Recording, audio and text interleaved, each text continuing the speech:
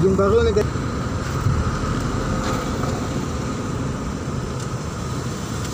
guys. Kita padang awak kan dong.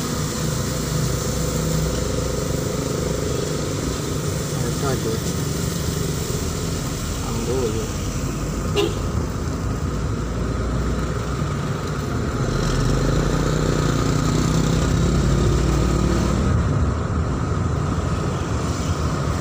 Inilah suasana Melabu Lebaran keempat.